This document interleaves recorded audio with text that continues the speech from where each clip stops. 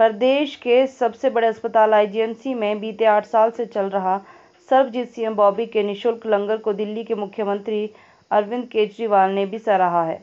अरविंद केजरीवाल ने ट्वीट कर लंगर को सराहा है। उन्होंने लंगर में आने की भी इच्छा जताई है। सर्वजीत सिंह बॉबी का कहना है कि दिल्ली के सीएम अरविंद केजरीवाल ने शिमला आने का कार्यक्रम बनाया है। वह हमारे लंगर को देखने के लिए आएँगे। इस बारे में उनसे बात हुई है और वह जल्द अपना कार्यक्रम तय करेंगे। जी सर, ये जो कार्यक्रम किस तरह का है, क्या इसमें रहेगा? जैसा कि कल पूरे विश्व भर में केजरीवाल जी ने ट्वीट करके इस लंगर के बारे में बातें की हैं कि ये लंगर मैं भी देखना चाहता हूँ। मैं सबसे पहले केजरीवाल जी का धन्यवाद करता हूँ कि उन्होंने हमारे इस लंगर को अप्रिशिएट किया वर्ल्ड वाइड के लिए। क्योंकि पिछले एक महीने से उनकी पूरी टीम सेक्रेटरीट से मेरे साथ एक कांटेक्ट में थी। वो बार बार हमारे से हम, हमारी हर इंक्वायरी कर रही थी, फिर उन्होंने कुछ लोगों को भेजकर भी यहाँ पर पता लगवाया कि ये लंगर कैसे लग, चल रहा है। तो उस फीडबैक के बाद केजरीवाल जी ने इच्छा ज़ाहिर की कि मुझसे वो बात करना चाहते हैं। पिछले सोमवार को हमारी बातचीत ये हुई और मुझे बड़ी खुशी है कि उन्होंने इस काम को अप्रिशिएट ही नहीं किया।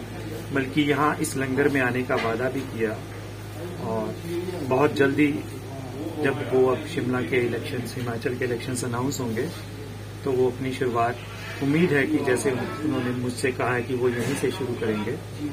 और उससे पहले भी अगर कोई उनके टीम के मेंबर चाहे वो मनीष सिसोदिया जी हो या चड्डा जी हो, वो सब यहाँ आएँगे। मैं अभी किसी भी पॉलिटिकल पार्टी से नहीं जुड़ा हूँ, ना ऐसा कोई इरादा है, क्योंकि बहुत सारे लोगों को कल ये भी लगा कि शायद मैं पॉलिटिक्स में जा रहा हूँ तो मेरा अभी तक ऐसा कोई इरादा नहीं है। मेरी हाथ जोड़कर अभी भी प्रदेश सरकार से ये डिमांड है कि अगर केजरीवाल जी ने हमारे लंगर में आने की बात की है तो इसको अन्यथा ना लें। ये समझ कर लें कि वो आ रहे हैं तो इस काम को अप्रिशिएट किया जा रहा है, जो ये लंगर सेवा पिछले आठ सालों से चल रही है। और मैं आग्रह भी करना चाहूँगा माननीय मुख्यमंत्री जो हिमाचल प्रदेश है, कि अगर दिल्ली के मुख्यमंत्री आ सकते हैं तो प्लीज़ आप भी, आपके भी पाँच साल पूरे होने वाले हैं। भगवान करे आप दोबारा से कामयाब हों और आप फिर से आए। लेकिन फिर भी मैं चाहता हूँ आप इस लंगर सेवा में आए। बाहर जो ये लोग सड़क पर बैठकर खाना खा रहे हैं, वो बड़े मजबूर हैं, लाचार हैं। आपके ही प्रदेश के नागरिक हैं। इस काम में कोई भी राजनीति ना करिए और ना किसी को करने दीजिए। पिछले एक साल से हमारा बिजली पानी काटा हुआ है, हमारा स्टोर पे कब्जा कर दिया गया है। हमारे जो स्वास्थ्य मंत्री थे, जो मेरे एक अच्छे जानकार हैं, मुझे यहाँ पर आश्वासन देकर गए थे कि बोलता रहेगा, जो ये हमने सराय आपसे ले ली है, क्योंकि वो भी एक जबरन ली गई थी। रातों रात उसका एक अवैध रूप से टेंडर कर दिया गया था। बार बार हमारे लंगर को अवैध कहा जाता है।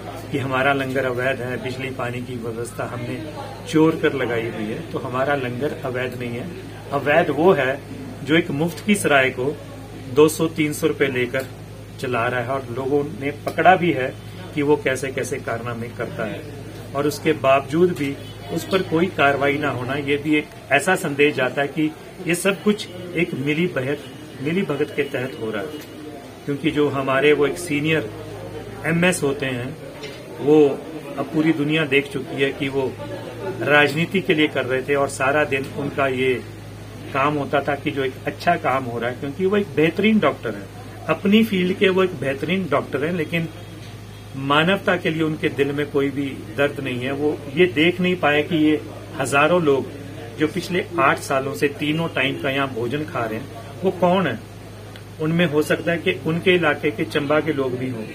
और हैं, अगर आप देखेंगे अभी बाहर जाकर, जो ये लोग सड़क पर बैठे खाना खा रहे हैं, कोई ज़मीन पर बैठा है, कोई पार्किंग में बैठा है, और साथ साथ उनके ऊपर बंदर भी झपट्टा मार रहे हैं तो आप अगर देखेंगे तो ये भी वही गरीब लोग हैं। मेरा उनसे भी गुजारिश है, अब तो आप राजनीति में चले ही गए हैं तो प्लीज़ इस लंगर को चलने दीजिए, यहाँ पर राजनीति ना कीजिए, अपने चंबा में जाकर अपनी राजनीति कीजिए, वही आपको सूट करता है।